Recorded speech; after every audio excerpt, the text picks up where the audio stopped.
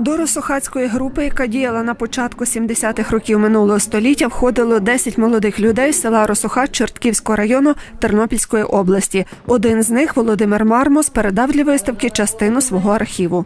Це листи переписки е, Володимира Мармуса і його колег з відомими правозахисниками. Е, Ця робота тільки розпочалася. Сьогодні ми презентуємо перші, е, першу підбірку. Це 16 аркушів. Листи опрацьовував філателіст Юрій Ковальков. В числі його е, кореспондентів були надзвичайно відомі люди.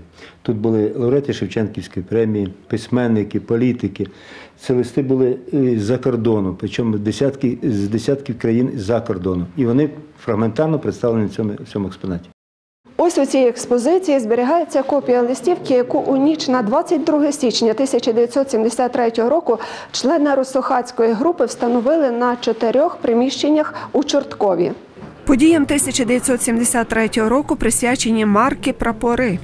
Тернопільська кінокомісія е, спільно з місцевою асоціацією спілкою філателістів заснувала свого часу е, тематичну серію кіно України.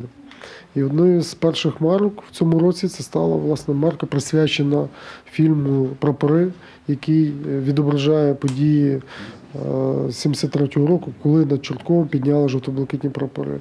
Під час відкриття виставки відбулося спецпогашення конверту, присвяченого подіям у Чорткові 1973 року. Дизайн конверту, який випустили накладом 100 штук, розробив львівський філателіст, видавець Андрій Пилюх. На конверті зображена е, меморіальна таблиця, яка знаходиться на педучилищі е, в Чорткові, е, приурочена власне події, бо е, Чортковське педучилище одне з будівель, де були вивішені ті чотири прапори.